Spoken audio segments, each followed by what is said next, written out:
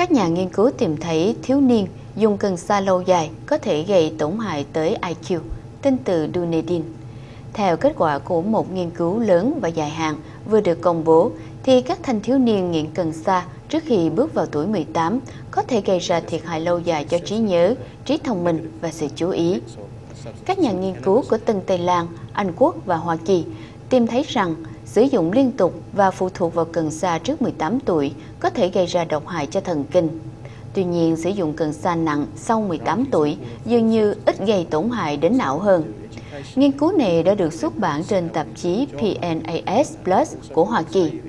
Các nhà nghiên cứu Tân Tây Lan cho biết đây là một phần của nghiên cứu đa ngành Dunedin, một nghiên cứu chi tiết nhất trên thế giới về y tế công cộng từng được thực hiện.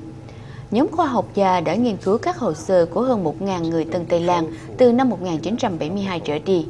Ở tuổi 38, tất cả những người tham gia đã thực hiện các bài trắc nghiệm tâm lý để đánh giá trí nhớ của mình, tốc độ suy nghĩ, lý luận và tiếp nhận hình ảnh.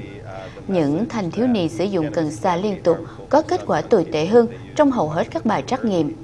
Bạn bè và người thân cũng thường xuyên được phỏng vấn.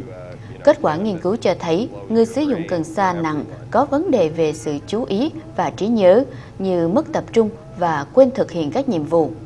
Các nhà nghiên cứu cũng phát hiện ra rằng những người bắt đầu sử dụng cần sa trong tuổi vị thành niên và tiếp tục trong nhiều năm sau đó cho thấy một sự suy giảm trung bình trong điểm thông minh IQ khoảng 8 điểm giữa tuổi 13 và 38.